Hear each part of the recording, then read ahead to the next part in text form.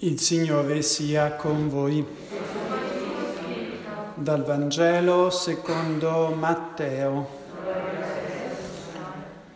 In quel tempo Gesù riprese a parlare con parabole ai capi dei sacerdoti e ai farisei e disse, il regno dei cieli è simile a un re che fece una festa di nozze per suo figlio Egli mandò i suoi servi a chiamare gli invitati alle nozze, ma questi non volevano venire. Mandò di nuovo altri servi con quest'ordine.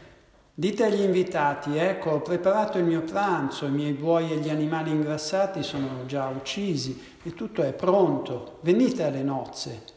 Ma quelli non se ne curarono e andarono chi al proprio campo, chi ai propri affari.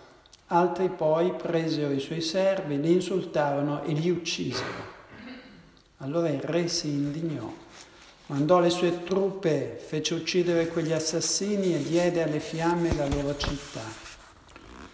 Poi disse ai suoi servi, la festa di nozze è pronta, ma gli invitati non erano degni.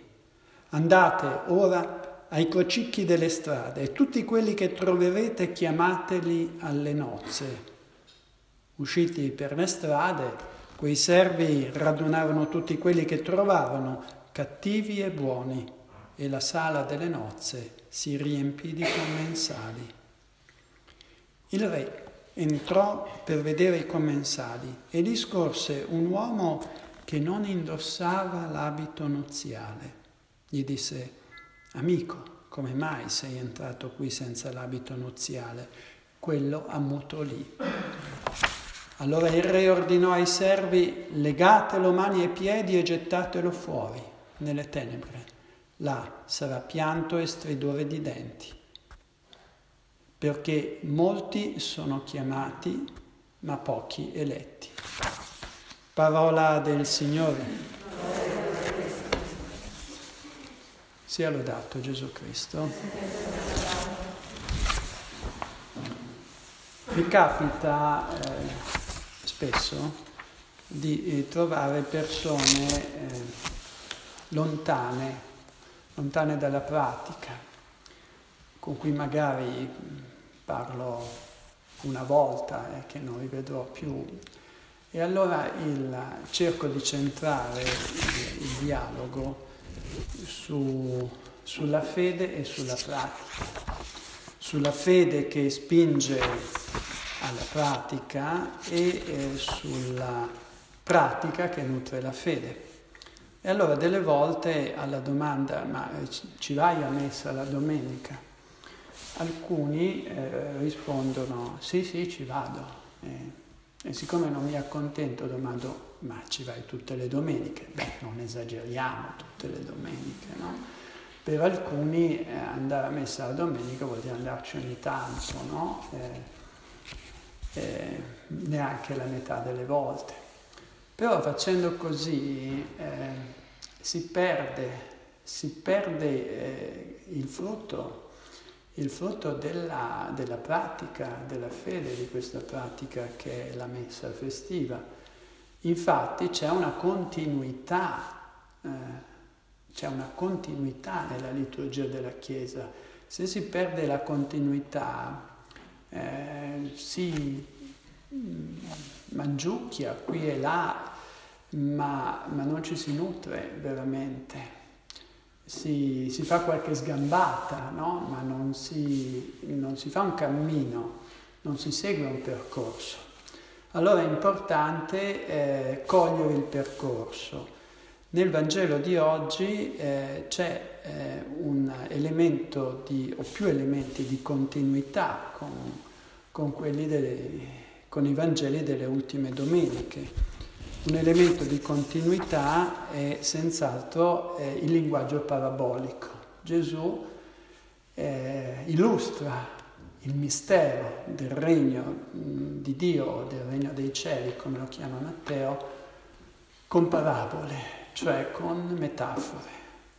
Per esempio, eh, cinque domeniche fa eh, si spiega a Pietro a Pietro che è chiamato a esercitare in modo esemplare la misericordia, che tutti noi siamo debitori di una somma ingente, impagabile a Dio, i famosi 10.000 talenti.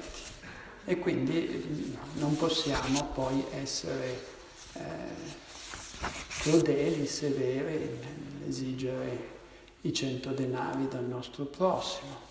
La domenica dopo eh, la parabola è quella del padrone di casa che assolda braccianti per la sua vigna e, ehm, e, poi li paga tutti, perché è un uomo un po' bizzarro, eh, li paga tutti con la paga sindacale senza dare premi ai primi. Eh,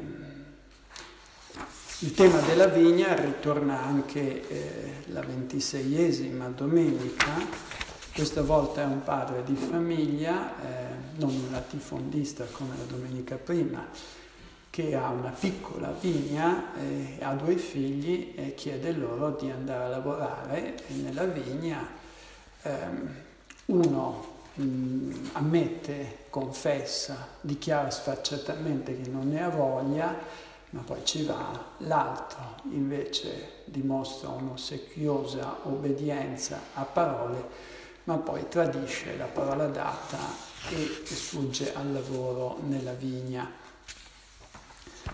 Domenica scorsa ritorna il tema della vigna, questa volta eh, invece eh, è un uomo che la dà in affitto, mm, che prende le distanze dalla sua vigna, però giustamente quando arriva il tempo esige dei frutti che invece i vignaioli perfidi non vogliono darli e vengono severamente puniti. Questa parabola, come la precedente, è rivolta ai capi del popolo.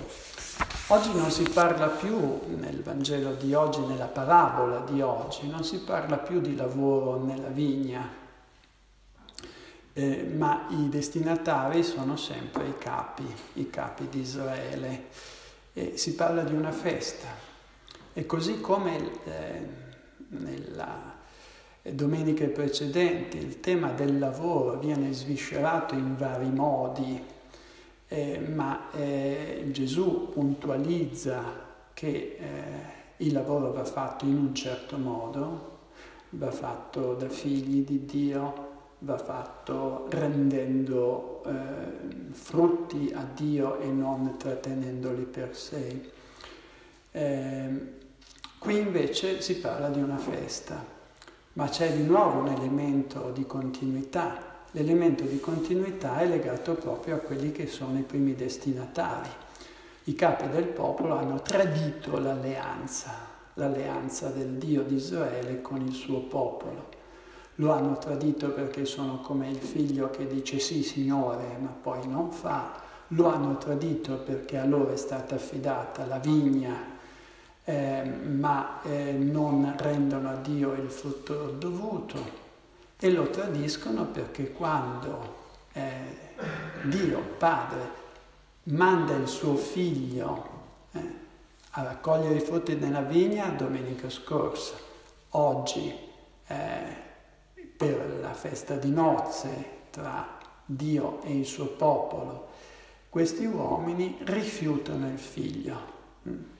Questi uomini sono quelli che poi rifiuteranno, non crederanno a Gesù, anzi, siccome eh, urta eh, la sua predicazione, le cose che fa, eh, la sua persona urta i loro interessi, lo eh, consegneranno a Ponzio Pilato perché sia tolto di mezzo, perché sia crocifisso.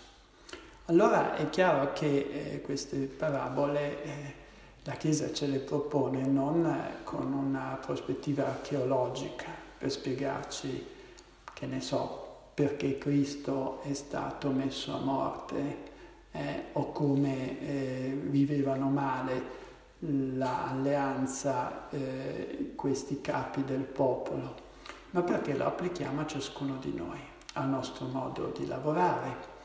Al nostro modo di fare festa, la domenica, primo giorno della settimana, al nostro modo di vivere da figli di Dio, che eh, delle volte hanno voglia di lavorare, delle volte hanno voglia di far festa, altre volte non ne hanno voglia, hanno voglia di stare per proprio conto e non di fare festa, hanno voglia di lavorare nei propri affari e invece eh, Dio ci chiama a lavorare nella sua vigna, hanno voglia di eh, riposare e invece Dio ci chiama al lavoro, ma al lavoro non da schiavi, ma da figli, eh, in una prospettiva che è quella della vita eterna.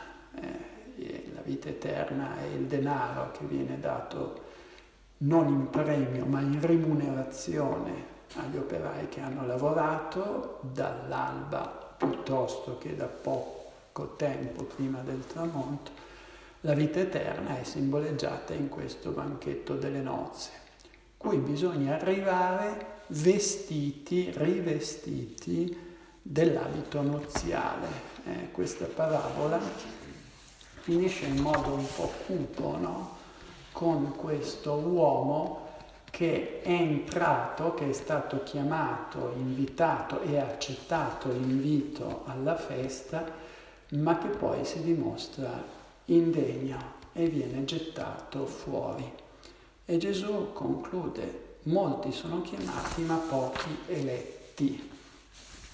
Eh, molti sono chiamati è un modo semitico di dire tutti sono chiamati, nessuno è escluso, eh, non solo i ricchi, i notabili, no? eh, ma anche eh, gente di ogni risma che sta ai crocicchi delle strade, eh, molti, tutti sono chiamati, ma quelli che arrivano alla beatitudine eterna sono quelli che, che sono rivestiti dell'abito nuziale, del, che, che, lottano eh, per vivere le virtù, che si sentono e vivono lottano per vivere da figli di Dio.